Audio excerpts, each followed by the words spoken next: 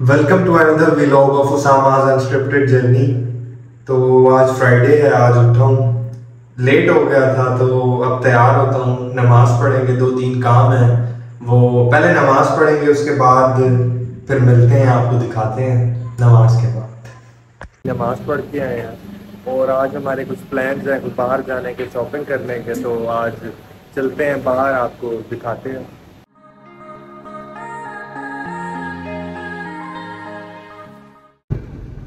जी तो अभी बाहर आए हैं और एक दोस्त को लेना है दोस्त को लेंगे उसके बाद शॉपिंग करेंगे और आपको दिखाएँगे। मेरे साथ उस्मान है उस्मान को जान सब जानते हैं और हमजा है साथ। हमजा शर्मा क्यों रहे हो हमजा कैमरा शाया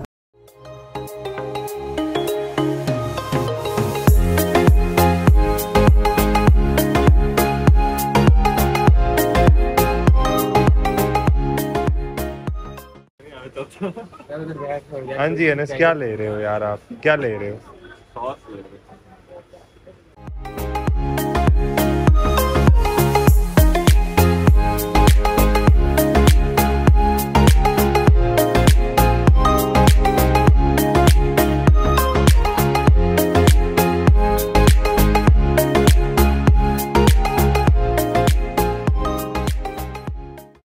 जो सामान हमने लेना था वो हमने ले लिया। उसके बाद अब अनस हम किधर जाएँगे? यार आप बताओ।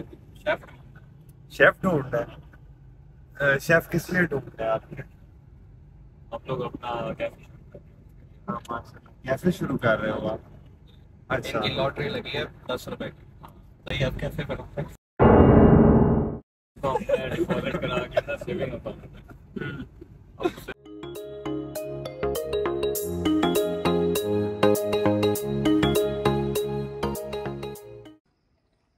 जी ये शेफ के पास हम आ गए हैं शेफ से मिलने। ये शेफ है। ये तो जवाद है। कैसे हो जवाब ठीक हो यार छोड़ो आप उन चीज़ों को। इन चीज़ों से इन चीज़ों से ऊपर हो गए है। ये मुझे मुझे एडिटिंग इसने सिखाई थी। कौन सी वाली है? कौन सी? हाँ हाँ हाँ। इसने एडिटिंग मुझे स्टार्ट जो मेरा था वो मुझे जवाद ने सिखाया था। मैंने अपनी लाइफ की पहली टिकटॉक मेरी इसने इस बंदे ने पहली और आखिरी इसने शूट की थी और एडिट भी इसी ने करके दी थी। फिर मैंने इससे पूछा था कि एडिट कैसे किया फिर इसने मेरा आइडिया चोरी करके ब्लॉगिंग शुरू कर हाँ तेरा आइडिया चोरी। तू चैनल का नाम बताना जवाद अभी जवाद कुक्स ये हम अभी वो स्टोरी जवाद को तो नहीं पता जवाद भी लोग देखेगा तो जवाद को शेफ वाली बात पता चलेगी। ये ये कल पता चलेगा। हाँ नहीं ये आज ही पता चलेगा। आज ही अपलोड होगा।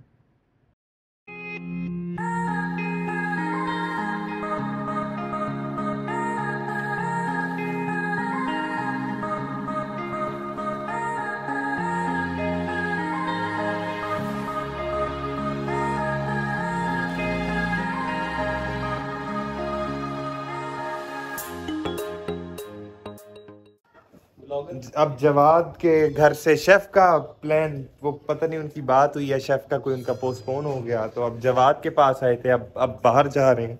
जवा- जवाद की ये बिल्ली है जवाद की बिल्ली ने बड़ा तंग किया हुआ पाँवों में आ जाती है ये। अब बाहर जाएँगे मैं जवाद के साथ बैठ जाऊँगा। हम फिर इधर बैठ हाँ जवाद के साथ बैठ जाता हूँ। बाहर जाने का प्लान बना है अब देखते हैं किधर ये साकिब है मेरे साथ साकिब का इंट्रोडक्शन नहीं करा। साकिब साकिब जवाद ये मेरे यूनिवर्सिटी के सीनियर्स हैं। लेकिन एक बड़ा अच्छा ये तो पास आउट हो गए हैं और बड़ा बड़े अच्छा मेरा इनसे दोस्ती और वो बन गया। कुछ कहना चाहेंगे जवाद आप? हम पिज्जा खाने जा रही हैं हमें ट्रीट दे रहा है। अच्छा मैं दे रहा हूँ? ओके तो मैं दे दे ये हम फास्ट एंड फ्यूरियस कैफ़े आए हैं। ये M D A cooperative society में वापडा टाउन ई ब्लॉक के साथ। और चलते हैं अंदर कुछ खाते हैं उसके बाद ये रीटेक था बाकी सारे अंदर चले गए। और ज़ोर से बोल के लोगों को स्कीमें बता दे।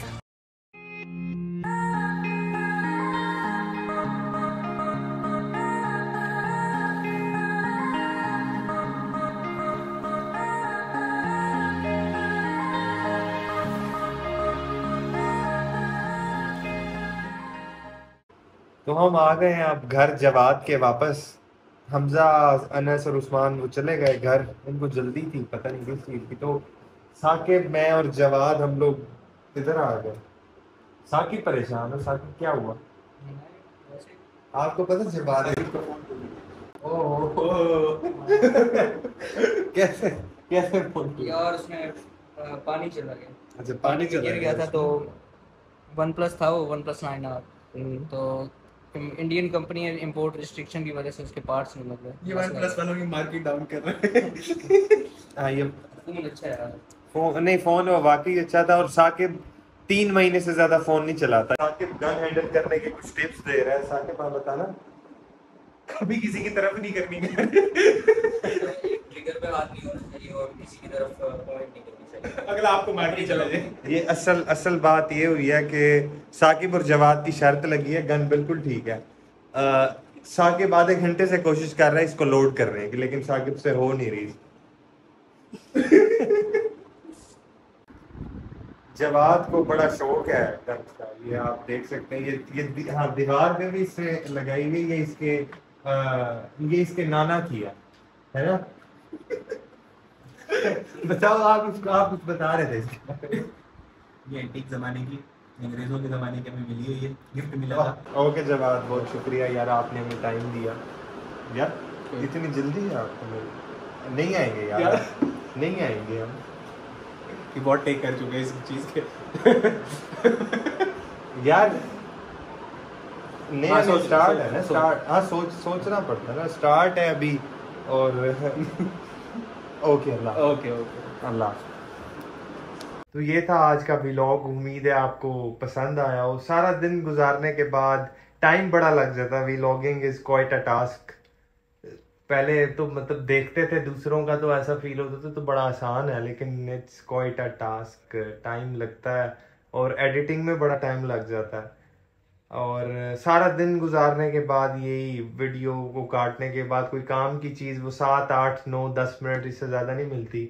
और फिर फैमिली के साथ में फिर इंसान टाइम गुजारता है। और मुझे पढ़ने का किताबें पढ़ने का भी मुझे शौक है जो लोग जानते हैं। अभी सब्सक्राइबर्स मेरे वही हैं जो जानने वाले ही हैं। वैसा कोई बाहर की कोई ऐसे खास वो नहीं है। तो मुझे किताबें पढ़ने का शौक है। अ, मैं उसके बाद I am reading this one book right now how to lose a country seven steps from democracy to dictatorship तो यही है। तो मिलते हैं इंशाल्लाह अगले व्लॉग के साथ।